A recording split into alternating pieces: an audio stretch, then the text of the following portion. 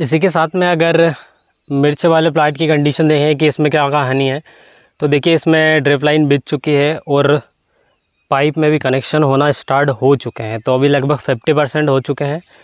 तो इस प्रकार से आप देखोगे, ये बिल्कुल ड्रिप लाइन बिछ चुकी है और इसमें एक तगड़ा सा जुगाड़ लगाया है। जुगाड़ के साथ कि ये वाला जो पाइप है, इसको पहले दूसरे प्लाट में था बट इसको जब इधर लगाया तो इसका सिस्टम थोड़ा सा अलग हो गया मतलब बेड अलग हो गया, उसके बाद जहाँ से अपने को ड्रिप की जो लाइन बिछानी है, वो थोड़ा सा अलग हो गया। इसलिए यहाँ पर इसको ये है, यहाँ गेगा से कनेक्शन दिया, उसके बाद फिर यहाँ पे एल्बो लगाया, फिर उसको एल्बो लगा के यहाँ से सीधा करा।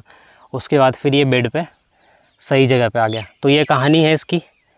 इस प्रकार से इसको सीधा करा गया है। और अभी तो काम चल रहा है उधर लास्ट में आप देखोगे तो।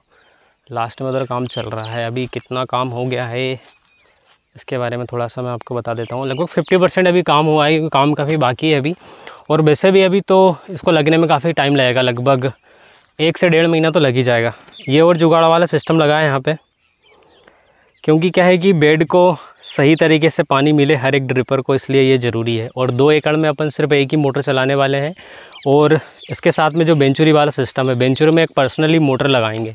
ताकि प्रेशर कम ना हो पूरे दो एकड़ में। एक साथ पूरी दो, दो एकड़ की पूरी ड्रिप उठेगी इसलिए प्रेशर कम ना हो। इसलिए इसमें क्या है कि अपन एक साथ में एक्स्ट्रा चीज़ लगाएँगे एक मोटर जो कि बेंचुरी को प्रेशर देती है।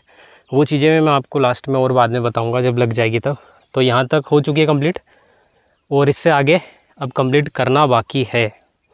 वैसे कंप्लीट तो हो चुकी है यहाँ तक भी बट इसको सीधा करना बाकी है बस।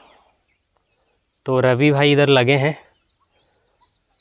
अरे यार, इसको कैमरे को मतलब इधर उधर घुमाने में थोड़ी सी परेशानी जाती है। नया सिस्टम लिया है तो उसको चलाने में थोड़ी सी समस्या आ रही है अभी तो। बट हो जाएगा ठीक धीरे धीरे संभाल लेंगे इसको भी।